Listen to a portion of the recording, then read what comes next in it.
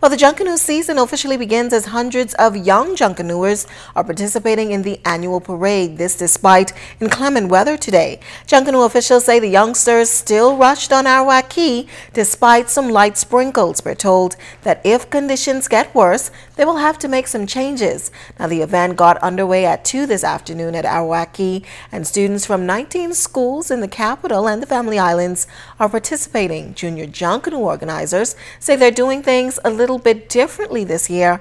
They added a festival and had ahead of the start of the Junior Parade. We spoke with Culture Minister, the Honorable Michael Pintard, who talked about the activities.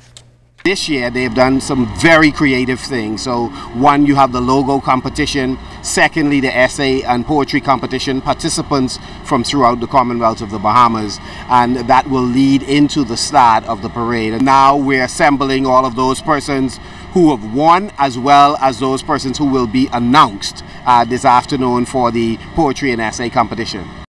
Now, the culture minister said plans are also underway to expand this annual event.